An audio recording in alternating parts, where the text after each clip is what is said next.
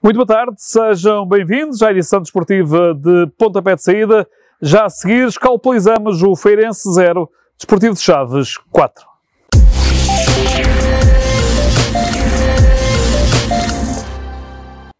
O Desportivo venceu ontem à noite no Marquinhos Castro em Santa Maria da Feira, o Feirense, por 4-0.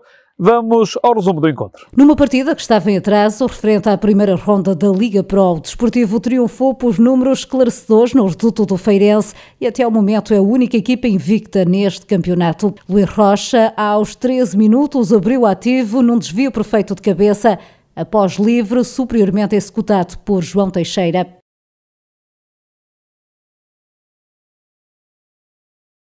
20 minutos depois, Bati na melhor jogada do desafio, ampliou a vantagem.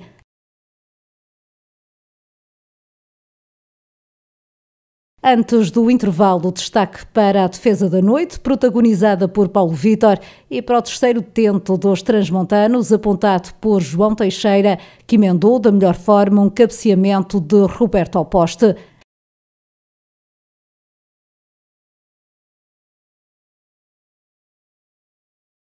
A segunda metade começou a sorrir para a turma azul-grená. Com apenas 4 minutos jogados, João Teixeira levou a contagem depois de desarmar um defensor fugaceiro. Até ao final, o Desportivo controlou o encontro a seu belo prazer e saiu de Santa Maria da Feira com os três pontos na bagagem, respondendo à eliminação da Taça de Portugal com uma exibição de encher o olho.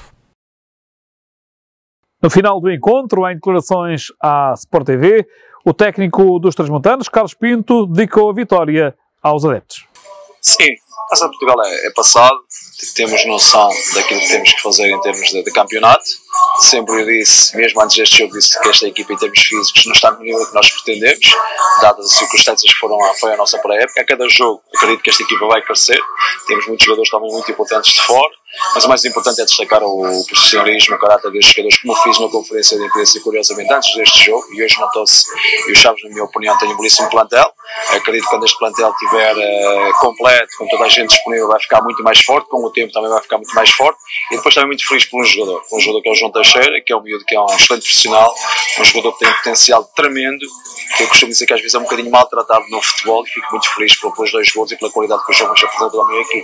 E é uma vitória, obviamente, dos jogadores, essencialmente também gostaria de aproveitar para, para dedicar aos nossos adeptos e espero, espero sinceramente que rapidamente os nossos adeptos voltem, voltem ao estado, temos muita saudades deles.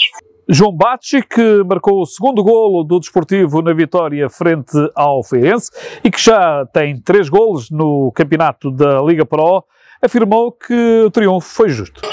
Acho que foi uma vitória justa, eh, dando o facto do trabalho da equipa acho que o resultado foi muito bom e vamos dar continuidade ao, ao que foi feito hoje.